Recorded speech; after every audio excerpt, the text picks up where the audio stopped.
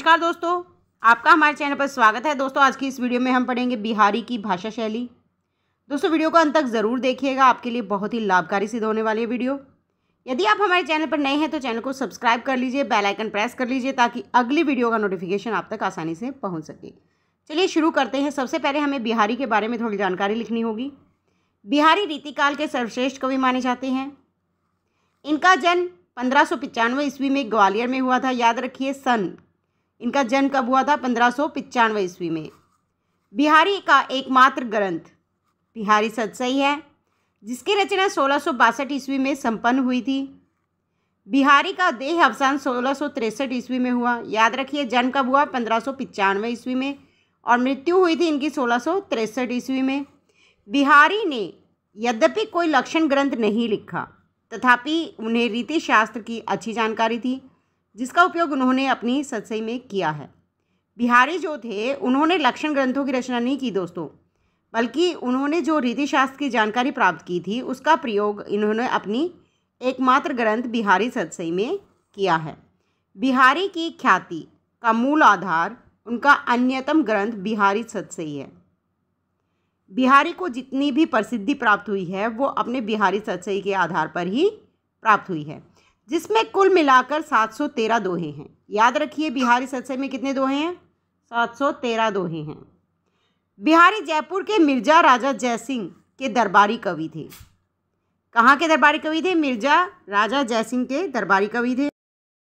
कहा जाता है कि जिस समय बिहारी जयपुर पहुँचे, उस समय राजा जयसिंह अपनी छोटी रानी के प्रेम में इतने आसक्त थे कि राजकाज भूलकर महल से बाहर न निकलती थी। तब बिहारी ने यह दोहा लिखकर उनके पास भिजवा दिया। दोहा क्या था?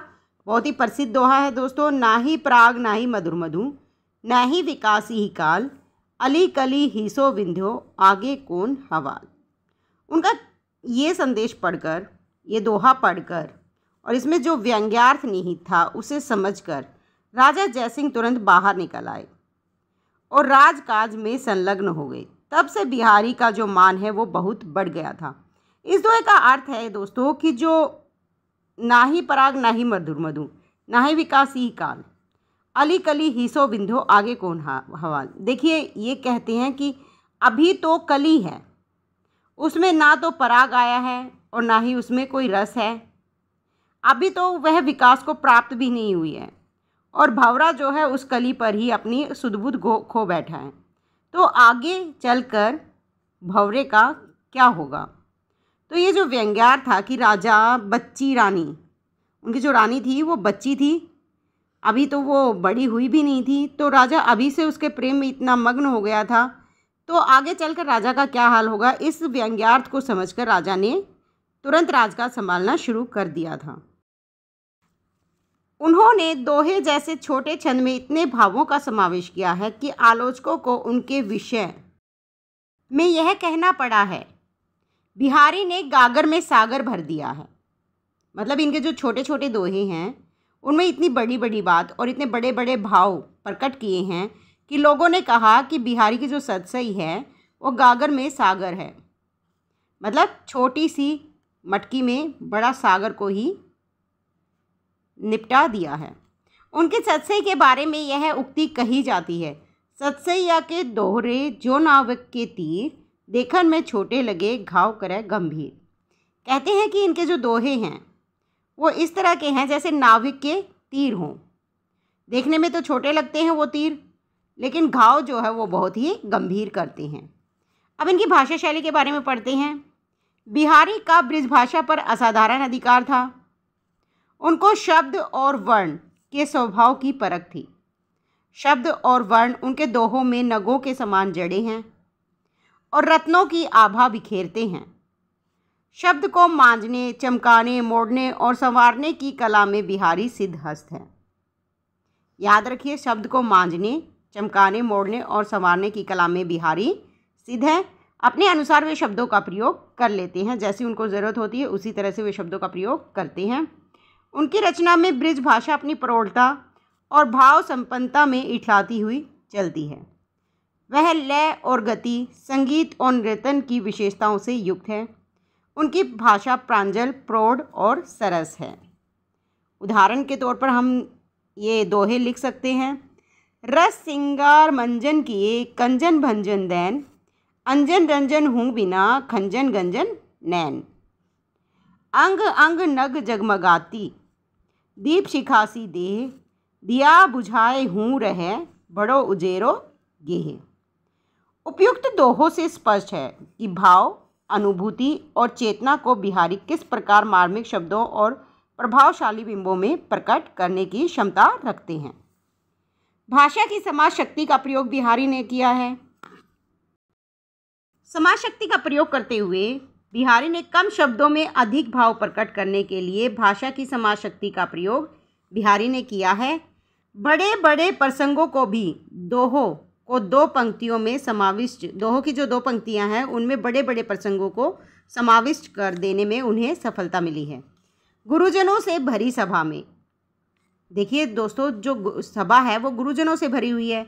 और इन गुरुजनों से भरी सभा में नायक नायिका किस प्रकार आँखों के संकेत से ही वार्तालाप कर लेते हैं, इसका चित्रण निम्न दोहे में वे करते हैं। कहत नटत रीझत खीजत, मिलत खिलत लज्जियात भरे भोन में करत है नैनन ही सो बात। देखिए, वे इशारे करते हैं, कहते हैं, जो नायक है, वो कहता है इशारों में, और जो नायिका है वो मना कर देती है, रीझती है, खिंच जाती है, एक दूसरे को इसी तरह चिढ़ाते हैं, इशारों में ही मिलते हैं, और एक दूसरे से मिलकर खिलने की बात होती है लजियाते हैं, शर्माते हैं भरे भवन में मतलब गुरुजनों से भरे भवन में वो इस तरह से नैनन ही में बात कर रहे हैं। अलंकारों का प्रचुर मात्रा में प्रयोग उन्होंने किया है। बिहारी ने यमक, सलेश अलंकारों का प्रयोग प्रचुर मात्रा में किया है। यथा निम्न दोहे में कनक शब्द का दो बार प्रयोग अलग अलग अर्थों में करते हुए यमक का विधान किया गया है। अब देखिए यमक अलंकार का उदाहरण, कितनी खूबसूरती से उन्होंने किया है। कनक कनक ते सो गुनी मादकता अधिकाय उही खाए बोराई ही पाए ही बोराए। एक कनक का अर्थ तो यहाँ पर होता है, सोना, धतूरा, दूसरे का है। सोना क्या होता है? धन। कहते हैं कि सोना और धतूरे में दोनों में क्या है? क्या होता है दोनों में? नशा। एक को तो खाने से, जब धतूरे को हम खाते हैं, तब नशा होता है। जबकि सोना जो होता है, उसे जिसे भी मिल जाता है सोना, उसमें नशा अपने आप हो जाता है, उसे खाने की ज़रूरत नहीं होती। तो इसका मतलब धतूरे से ज़्यादा नशा किसमें होता है? सोने में। शब्द अलंकारों के प्रयोग से बिहारी प्राय दोहरे अर्थों का समावेश करके चमत्कार उत्पन्न करते हैं। बिहारी ने ब्रिज भाषा के साथ साथ भाषा की सज्जा के लिए संस्कृत के अनेक शब्दों को जड़ा है। वहीं परंपरागत काव्य के घिसे पीटे शब्दों को छोड़कर अवधि, बुंदेलखंडी आदि भाषाओं से शब्द भी लिए हैं। इसके साथ ही फारसी, उर्दू के शब्द, तत्सम, तद्भव शब्दों का प्रयोग भी उन्होंने किया है। अब पढ़ते हैं इनकी शैली के बारे में। छोटे से दोहे में अपनी बात कहने के लिए अर्थ गांधीर्य और शब्द लाघव की स्थिति आवश्यक है। बिहारी को इसमें अत्यंत सफलता मिली है। इनका उदाहरण के तौर पर ये जो कहा था, दोहा, कहत, नटत, रीझत खीजत मिलत, खिलत, लज्जियात, भरे भोन में करत है, नैनन हूसो बात। ये उदाहरण के तौर पर हम यहाँ पर फिर से लिख सकते हैं। इसमें समाज शैली के कारण सफलता मिली है।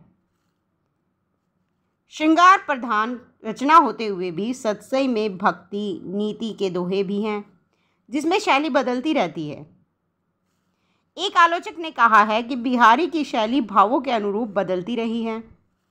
व्यंजना प्रधान अलंकृत शैली, बिहारी की प्रतिनिधि शैली है। इस शैली के प्रयोग से कवि वर्ण विषय का सीधे साधे शब्दों में वर्णन करता है। किंतु यह अनअलंकृत शब्दावली भी अपने आप में पूर्ण, जीवंत और समर्थ होती है। बतरस लालच लाल की मुरली धरी लुकाए, सो करे बोहनी हंसे, देन कहे नटी जाए। देखिए, इसमें अलंकार के बिना ही पूरा चित्र उभारा गया है। जो नायिका है, वो नायक के साथ बात करना चाहती है और बात करने के लालच में वह नायक की जो मुरली है, उसे छिपा देती है। और जब नायक उससे उसकी मुरली के बारे में पूछता है तो सौंख खाकर, कसम खा जाती है कि उसके पास मुरली नहीं है। और जब नायक जाने लगता है तो उसकी जो बोहें हैं, वो हंसने लगती हैं, जिसे हंसता देखकर जो नायक है वो समझ जाता है कि मुरली किसके पास है, नायिका के पास। दैन कहे नटी जाए कसम खाकर बोहने तो हंस रही हैं और फिर उसको देने से वो मना कर देती हैं।